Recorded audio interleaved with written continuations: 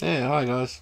I was just watching one of those OSAS, Once Saved, Always Saved mob there, um, doing his little preach about you don't don't have to do anything, don't do nothing. Um, uh, you don't don't have to do anything to go to paradise. He, he's correct, right? That's great. So what he had was he had this highlighted here, which is spot on. There we go. But to him that worketh not. Alright, so you do no works. But believeth on him that justifieth. Alright. So that was the bit he had highlighted. What he didn't highlight was that bit. Alright, so but but to him that worketh not, do no works, but believeth on him that justifieth, Jesus, uh, the ungodly.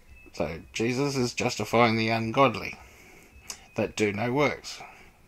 Alright, so the ungodly are the ones doing no works, or preaching, doing no works, teaching others. His faith is counted righteous because he believes God what God says, right?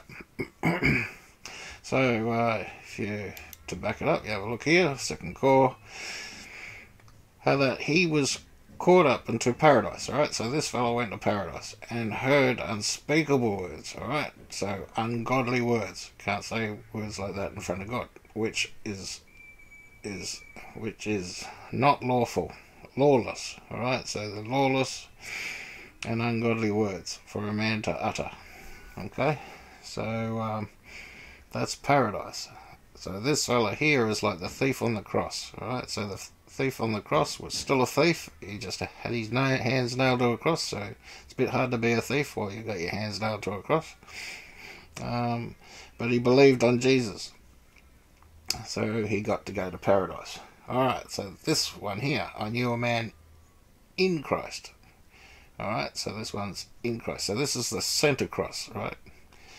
In Christ. And he was caught up to the third heaven. Alright, third heaven's not paradise.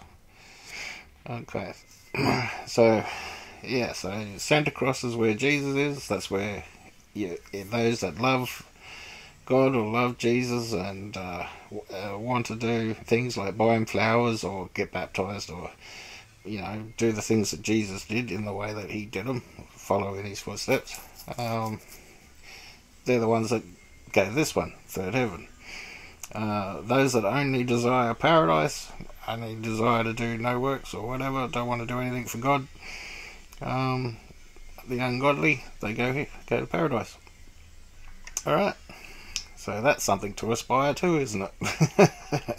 Alright, God bless.